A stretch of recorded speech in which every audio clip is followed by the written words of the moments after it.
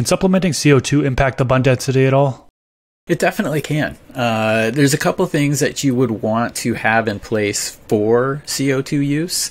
Um, I guess I'll just touch on that first. Um, you know, you you want kind of a sealed environment. Um, a lot of us exhaust the areas where uh, our gardens are. Um, if you're just quickly turning that out every 30 seconds to a minute, it might not be as beneficial as if you slowed that down, or it was a sealed environment where it kind of recycled that.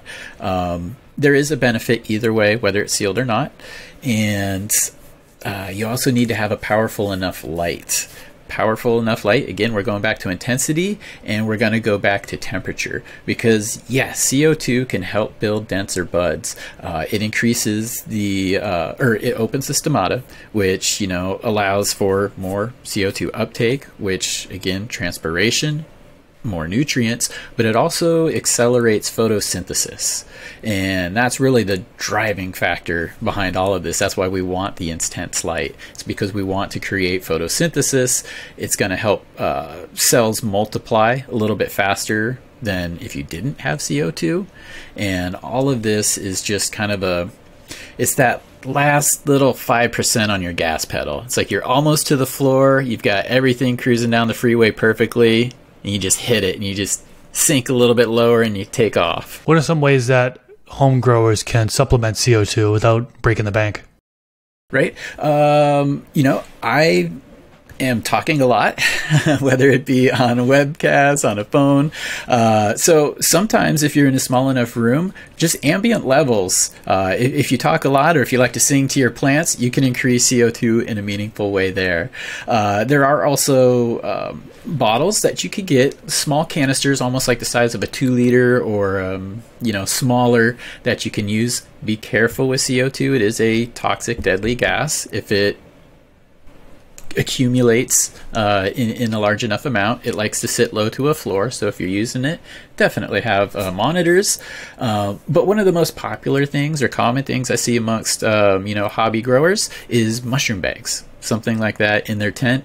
Uh, they just kind of hang it up high, kind of let it fall down over the canopy, and that's that's typically the uh, most common one I see. Okay, and then what about the tanks? You know, you hear people going to the hydro store and lugging yeah. tanks in and out of their house, and then put in that grow space.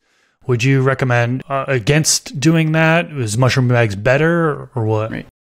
Um, you know, in a sealed environment with the tanks, you're able to control it. You're able to set kind of a target, whereas with the bags, you're just like taking what you get. Uh, it's going to, you know, probably start off high and then decrease over time a lot faster than a tank where you could set it at a particular level.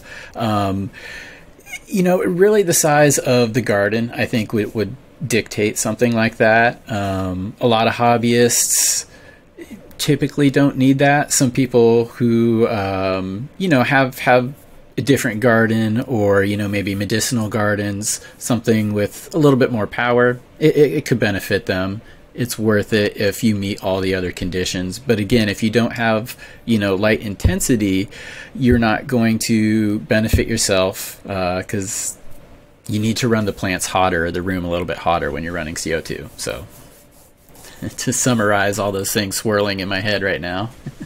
Good points.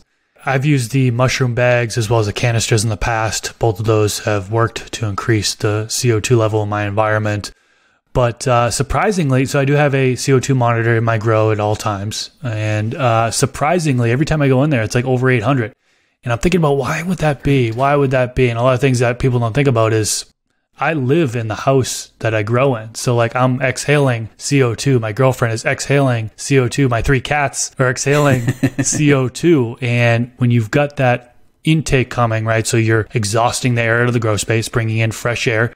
I'm doing it passively, and there's fresh CO2 coming in at all times, and it keeps it up 800 plus. Just about every time I go in there, it's 800 plus. So perfect. I feel like I don't need to supplement CO2 anymore. I mean, I've tried it; it's it's helped, and so on and so forth. But I'm at the point where I'm such a small home grower, only growing six to 12 plants at a time. I feel like I don't need to spend that extra money on supplementation. That my air that I'm exhaling is is providing enough. Yeah, and, and, you know, I said uh, I, I grew commercially, and commercially, if you have you know a large nursery and you're able to increase yield by say two grams per plant, for me and you, for the hobbyist, not really a big deal, might not be worth the cost or the expense. But when you do that on scale times 20, 30, 40, 50,000, that adds up real quickly. So again, it, it's kind of one of those last little things that you, you can toy around with, and in my opinion. This clip is brought to you by AC Infinity. Use discount code MRGROWIT15 to save on any of their products.